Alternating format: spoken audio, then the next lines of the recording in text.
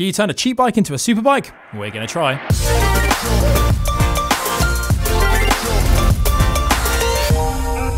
A while back, we pitched a cheap bike that we found on eBay against one of the best bikes that money can buy to see what the difference was between them. The answer was clear and it wasn't good. The difference was vast. We did, however, get some better news a few months later where we tested a mid-range bike against a superbike. And in that instance, the gap between them had actually reduced quite significantly. The question now then is whether we can take another eBay special, but this time actually turn it into a superbike all for less than the cost of the mid-range bike from the previous video. This then is the ultimate upgrade video.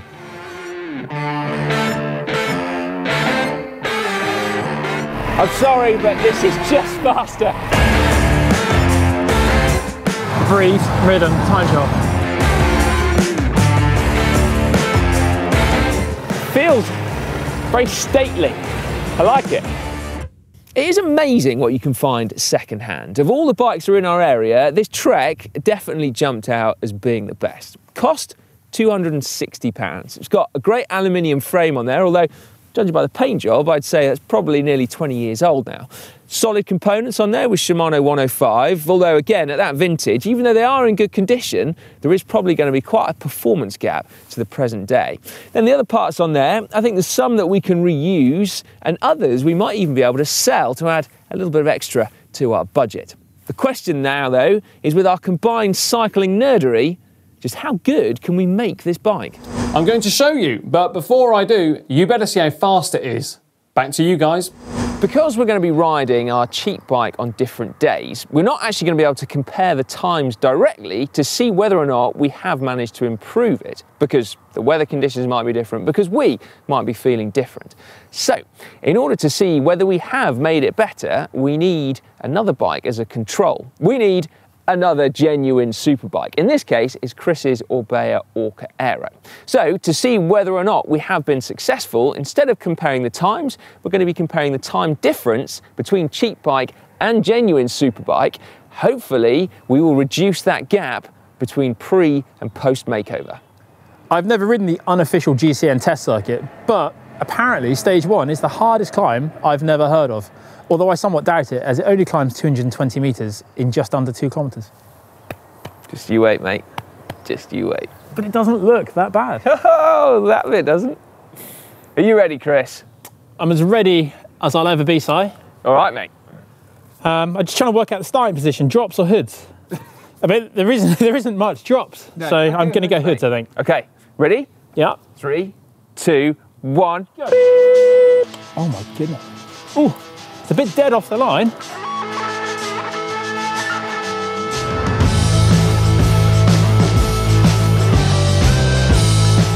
Ah, so we'll do a little review of the bike whilst we're getting going.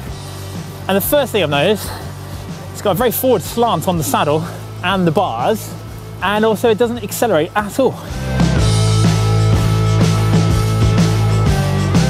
I've got one more gear to go. If it gets really hard, I can always use it, I guess.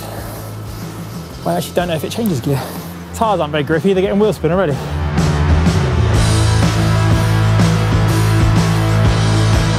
Now, these are the worst tyres ever. Oh, it's mech in the spoke. Just gotta be a little bit careful not to shift too far into first gear because just going straight to the wheel is not ideal.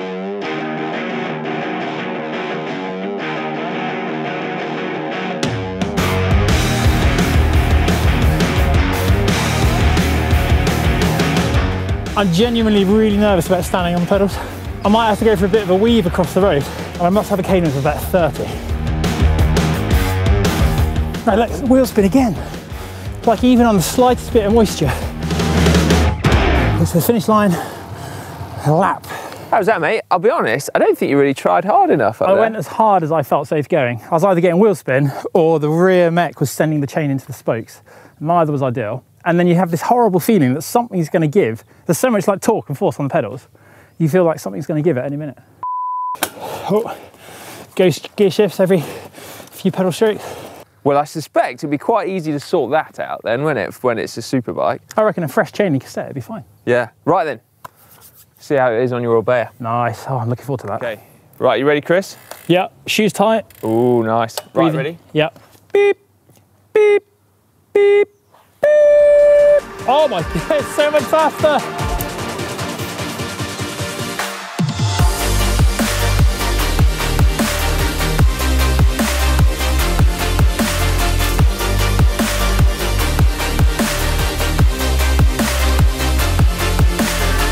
Up, up, up, up, up, up, up. Looking good, looking good, looking really good from where I'm sat.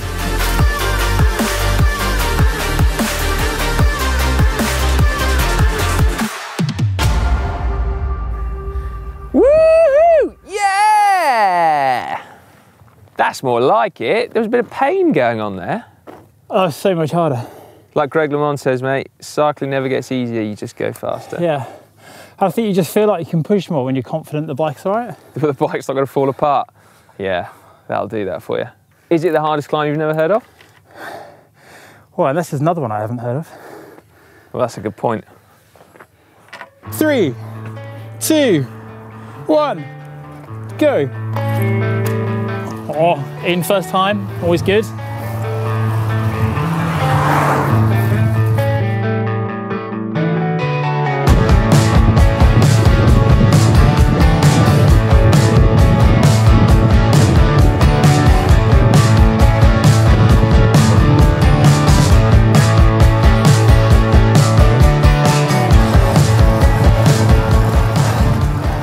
That was so uncomfortable, so hard to get into position, even with the cables. Like I used to race someone as a kid or a junior, doesn't help. And then the saddle slipped at some point, and then you got the, the corner on the bridge, caught me massively by surprise. Went in a little bit hot on the slipperiest tyres I've ridden in years. That was really, I want to get on my nice bike. Bit floppy, bit droopy. Slipped a bit with my mass on it. Ready?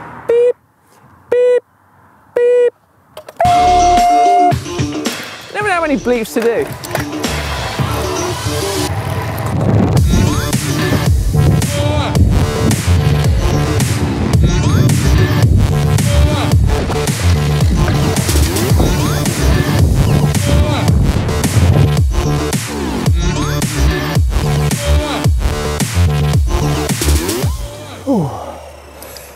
Yeah, that feels a bit better. Aero wheels, aero frame, a little bit more enjoyable, a little bit more confident on the little S bends that we had there as well. But altogether, it's just so much easier to maintain momentum. Cheers, guys, and don't worry, I'm sure that snot and spit will come off when I actually strip the bike down. And also, if you want to see an in depth look at how I came to choosing this frame and why, there are a series of videos over on the GCN Tech channel where you get a little glimpse into how I turn it into something oh so special. Right now, though, I'm going to strip the bike right down and then try my hand at respraying it. Nothing against Lance Armstrong, of course, but some fresh paint could take years off of it.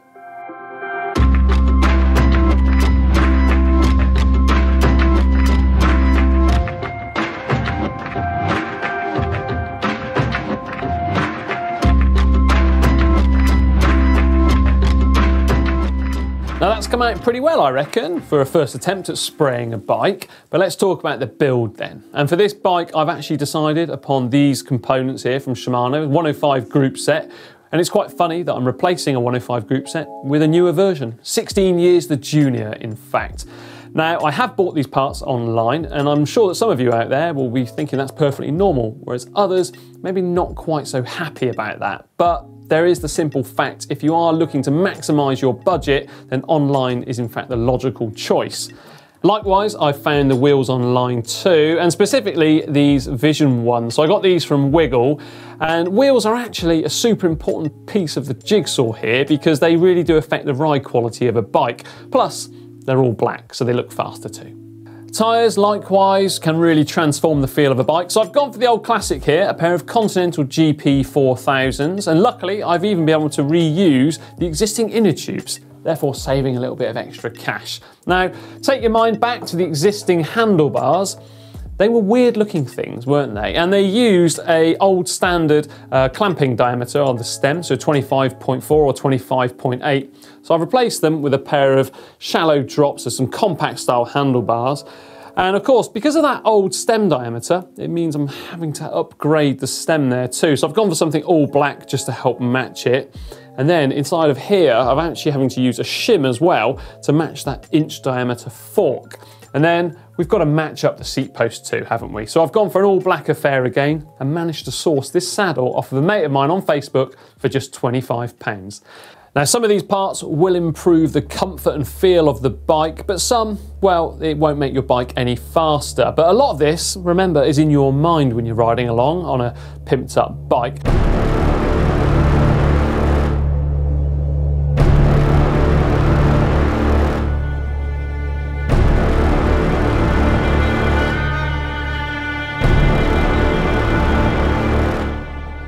Total cost, including the bike, £890 and 36 pence. Now that's not including the £100 that I made back at a local bike jumble sale selling all those old bits. And you know what? I don't think that looks far off a superbike. Awesome. The question now, though, is just whether all these upgrades will have made it go any faster, as well as looking faster.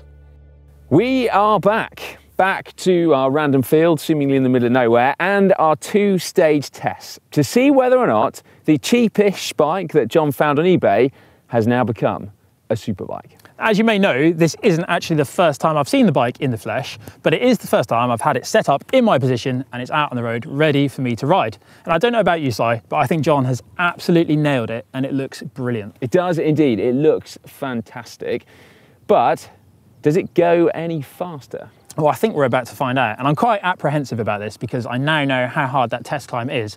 As before, we're not directly comparing this bike to itself, we are comparing it to my superbike as a benchmark. So when we come to doing the times, we've got something to compare it to. That's right. Has it managed to close the gap in terms of performance to your Orbea Orca Aero superbike? Yeah, I think it's enough talking, Si. I think we need to get on and do this. Yeah.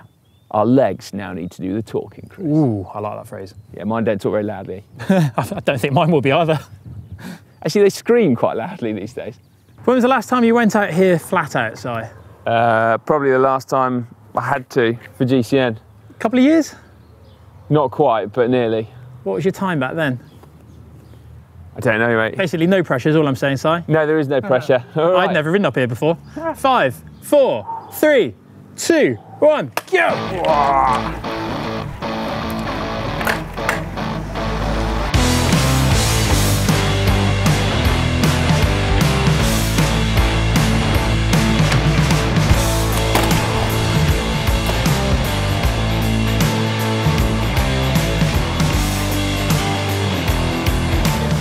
Well, I can pedal freer, a bit faster than last time.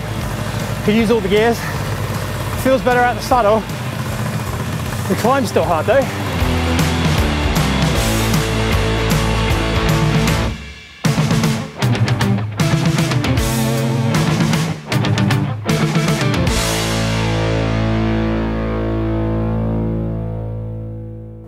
Never gets easier, that climb. How was it, dude? Oh man, it was so much better than last time on this, ah. on this bike. You managed to get some power down? Yeah, the only problem then is you go so hard that it really, really hurts. Yeah. But I think we're gonna need to check, but I think two minutes, like, which is an unbelievable difference. It's almost incomparable because last time the bike was screwed. Yeah, similar temperature, similar fitness, but being able to get out of the saddle and ride it as you would normally ride it on that or, you know, in any other way makes all the difference. Yeah. Do I have to do this, Chris? You do because it's part of the test site, I'm afraid. Okay. Uh, but it's all right, you've got gears this time, unlike when I rode it last time. Good point. So you'll be all right. Okay, count me in, mate. Three, two, one, go! Look at the power.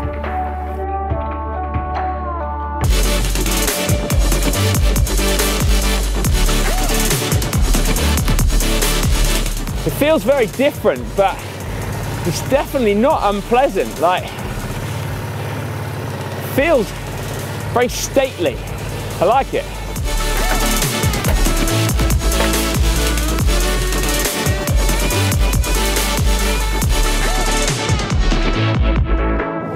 Well, instantly I've got a lot more drive off the line.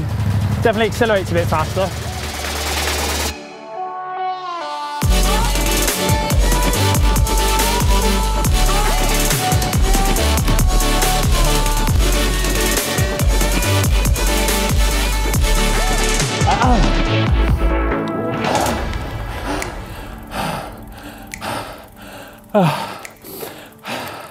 It's funny, you know, if you're going on feel, like, yeah, the bike feels heavier, but two important things jump out at me, first and foremost, and neither of them are related to the price or the value of this bike. The fact that this is my size as opposed to Chris's bike, which is a bit small for me, it suits me better. And then, secondly, the gear ratio that John's put on is a bit bigger. Yeah, neither of those things are related to the price of the bike, and both of them were my one thing that I need to take home from this climb, other than the fact it did feel a bit heavy. Go on, Chris! That doesn't look very fast, mate. Just, yo, up, up, up, up, up. Go on, mate. Yes. Good work. I tried so hard to pace it, not to go too hard before the steep bit, Yeah. and then save a little bit over the top. All right, no. No. Well, to be fair, mate, that kind of pacing takes quite a lot of experience to get it right. And, uh, you know, I guess relatively new to this with 20 odd years. It'll, Yeah, it'll come, mate. It'll come, yeah. Can I collapse now? Can you what? Collapse. Sit down somewhere. Yeah, go on then. Nice field just over there. All right, Chris, are you ready, mate? I'm as ready as I'll ever be. right, I'm going to do some bleeping now. All right. Beep, Beep, beep, beep, Oh, it's a good start.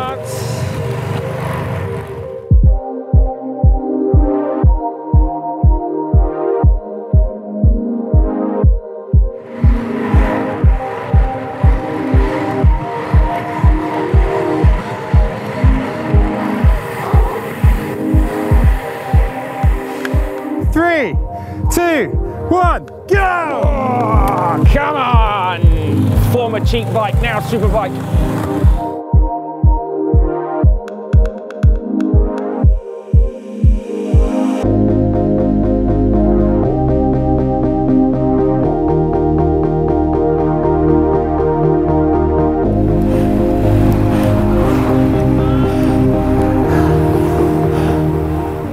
How was it, Si? That looked like you're getting fast. I was trying hard. Whether that was fast or not, I don't know. But I mean, first reactions, like, obviously this is not a fast bike. Like, it's got normal wheels in, it's not aero in any way. But it felt good, you know? It just felt really, like, pleasing to ride. It felt like a new bike, which is, you know, credit to John. And the other thing as well is the little touches, like, I mean, he's done a mega job building it up. So actually, it feels very special from that perspective. It just looks really clean. It does look smart when you look at it. Funnily enough, you mentioned John. I was getting messages whilst you were doing your time trial asking how it was going, what the bike felt like. I think we could give him a big thumbs up emoji. That's not a bad accolade, that is it. No. Good start.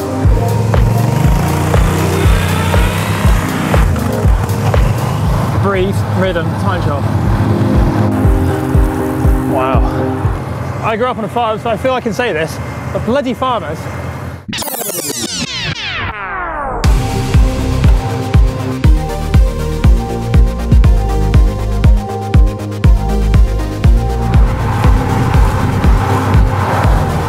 Go, go, go! go on then, mate. All right, so it does. that? it, it's a transformation of a bike. It's very different to this one, but compared to its old self, there's so much more feedback in the tyres from the roads. That's the first thing. There's a little chicane that we navigate here, isn't there? And the first thing I noticed last time was that I thought it was going to fall off, whereas this time, there's just you you squeeze the brakes. The brakes have got a much more confident rim surface. The tyres they give you feedback from the road. You can feel what's going on. Obviously, the frame is no stiffer than it was before, but the wheels are, the bars, the stem are, and all of that just adds to the confidence of the bike. It's still a little bit sluggish to accelerate compared to that, Yeah. but it is a super bike. It has good position for me because it's quite long, isn't it? Yeah. I get nice and low. Most importantly of all, the colour. Did that make you go fast? Well, looking down and feeling like you're on a brand new bike because it is pristine, isn't it? Yeah, it is, yeah. It does make you feel good. Yeah. Well, there you go then. That's pretty good, isn't it? I'm just going to say one thing before you go, Si. go on then. This is my bike, the first bike I had after retiring, and I'm quite, I've got, I'm quite particular about it. It's got some special memories that we've shared together. So Yeah. look after it, please, Well, your brakes are on the wrong way round, so that's a caveat. Well, just go gently then. right, A gentle Max TT. a gentle Max TT. I'm all over it. Five, four, three, two, one, go! Be nice to her. Gotta make sure I'm still aero. I'm sorry, but this is just faster. You can feel it straight out the block.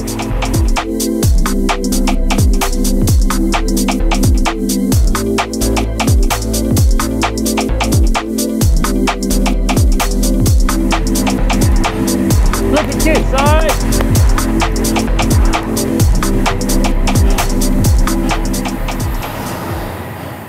Ah, How was that? and I haven't looked at the time yet, but I'd bet quite a bit of cash that this was faster. It felt faster, like off the line it feels faster, holding your speed it feels faster.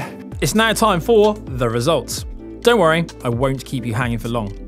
In its initial state, remember, our cheap bike was 1 minute 50 seconds slower on the climb with a stop for a mechanical issue compared to our superbike, and 48 seconds slower in the TT. And after John had finished with it, the gap on the climb was down to just 23 seconds. Coincidentally, exactly the same time gap that Si had. And in the TT, the gap was 7 seconds for me and 10 seconds for Si. In percentage terms, it was 18% slower when climbing, and that's now just 5%. And on the flat, it was 10% slower, now down to 3% slower. That is some serious performance enhancement. However, in an hour long fast flat ride, that's still about a minute and a half slower than the Orbea, and on the climb, it would be three minutes. Although, if I'm honest, I don't think I'd make it up that climb if it lasted an hour. Just like the looks, the performance of this bike has been transformed beyond recognition. I mean, the brakes now work when I want them to, That's a bonus. the tyres grip when going around corners, the gears not only change, but the chain no longer gives me so much fear that I daren't stand up and snap. Yeah, okay, so without doubt, that bike is now significantly faster than it was. But it's still not a super bike, is it? I mean, it's just not. And it's probably not surprising. It's not aerodynamic in any way. I mean, the frame is still exactly the same and the wheels are not aero. And although it is much lighter, it's still not super light either, is it? It's, it's not quite. But I do think it raises two questions, though. Is this better than a mid range bike of equivalent value? And would you be better off spending all your money on a new bike? Or, or and, is speed the best measure of a superbike? Well, two very good questions there. I think, firstly, no, that a bike is not better than a mid range bike of equivalent value. And I'll tell you why.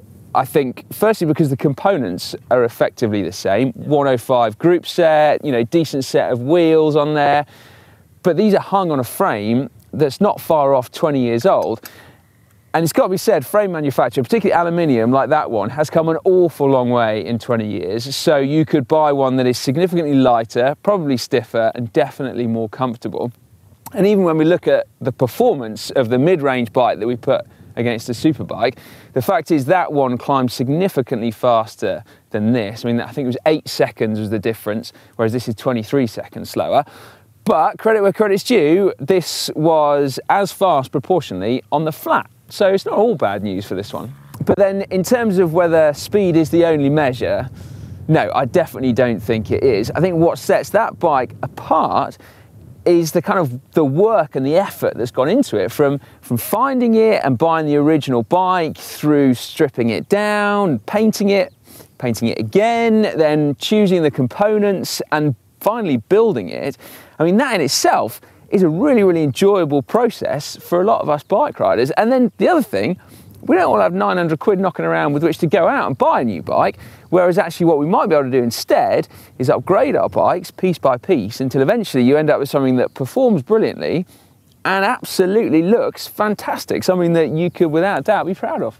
Yeah, and what's also really cool is it doesn't actually take that much effort to breathe new life into an old bike. No. I mean, John's done a brilliant job of respraying this, but you could do that at home as well.